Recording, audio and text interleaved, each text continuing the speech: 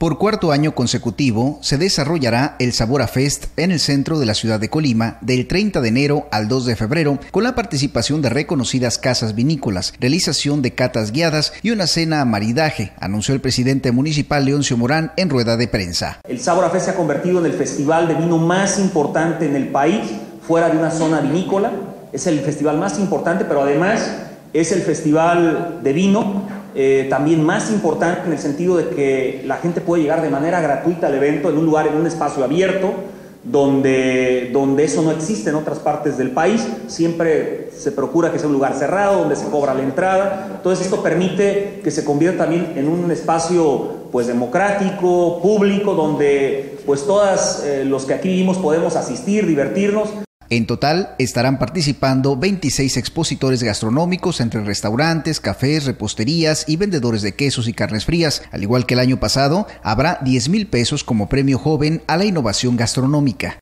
Es una convocatoria abierta a todos los jóvenes entre 18 y 29 años que tengan gusto por, por el arte culinario y que además son promesas para, para, la industria gastronómica en general. Entonces, este es un esfuerzo colectivo que realizamos en conjunto con la Canirac y con Alejandro Rubio el año pasado, que fue muy exitoso y que queremos seguir continuando.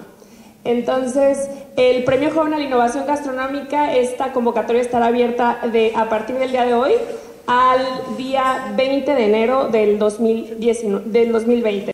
Las actividades se desarrollarán en el Jardín Libertad desde las 6 de la tarde y concluirán alrededor de las 2 de la mañana. El alcalde Leoncio Morán hizo un llamado a mantener el orden y la limpieza en el primer cuadro de la ciudad como ocurrió en la edición anterior. Por su parte, Alejandra Venegas resaltó la participación en este festival de la reconocida chef Pilar Meré, presidenta de la Asociación Mexicana de Sommeliers AC. Y bueno, también regresa la reconocida chef y sommelier Pilar Meré, presidenta de la Asociación Mexicana de Sommeliers periodista y conductora enogastronómica en prensa, radio y televisión, nos acompañará nuevamente en una cata guiada y una cena maridaje sabor a sabora.